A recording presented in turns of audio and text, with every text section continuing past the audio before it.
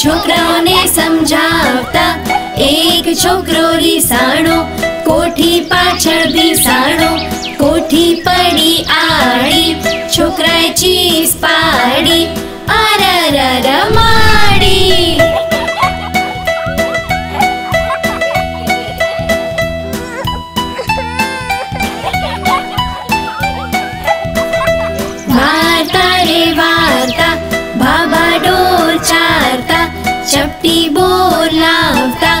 છોકરાઓને સમજાવતા એક છોકરો રીસાણો કોઠી પાછળ ભીસાણો કોઠી પડી આડી છોકરાએ ચીસ પાડી અરર